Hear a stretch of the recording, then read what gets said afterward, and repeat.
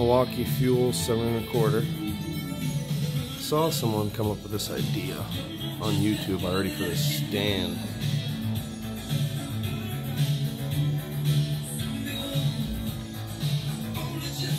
Vacuum.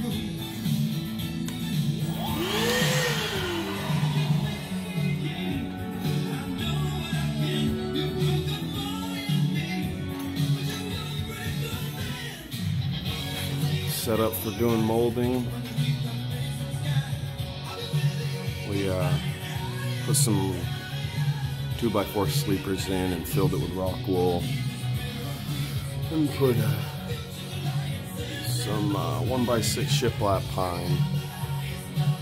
And cover those gaps on the edge. Some 3 quarter by 3 quarter molding.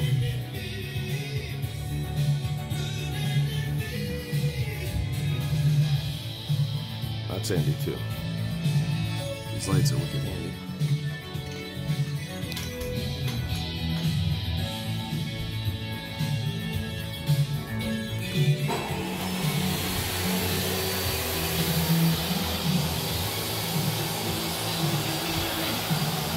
Some trim work, window casings, five quarter header. This is the way the headers are supposed to be done right here. Sills, aprons, five quarter header. Look at these plugs. Someone's got to come back with a saw. But yeah, yeah.